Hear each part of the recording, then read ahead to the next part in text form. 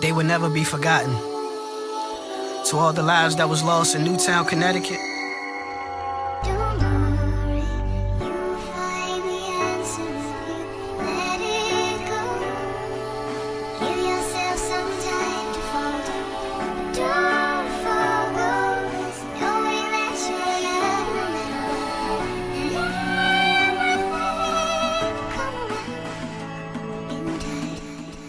Uh, they say everything happens for a reason, but it seemed like it happened so easy. Them teachers in their classrooms teaching, them kids was in their classrooms listening. But out of nowhere came a whisper and a calling from God right before Christmas. We just wanna know why, wanna know why, Lord.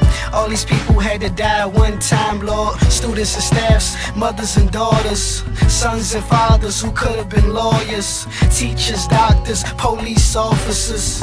But now they dreams were shot down. This here goes out to all in Newtown. We learned to forgive, you will never be forgotten. To Adam Lanza, you are now God's problem. You are now God's problem.